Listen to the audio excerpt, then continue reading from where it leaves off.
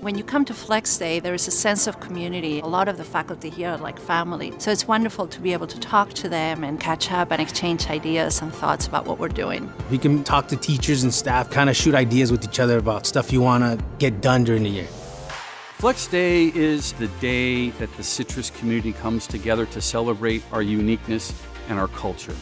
It allows us to provide training workshops for one another so that we can learn new, innovative, and exciting ways to better serve our students. We attend lectures and conferences that are useful about technology, improvements on campus, and we get to share all of that knowledge with our students. It's our one time where everybody can get together so that we can help each other do our jobs better.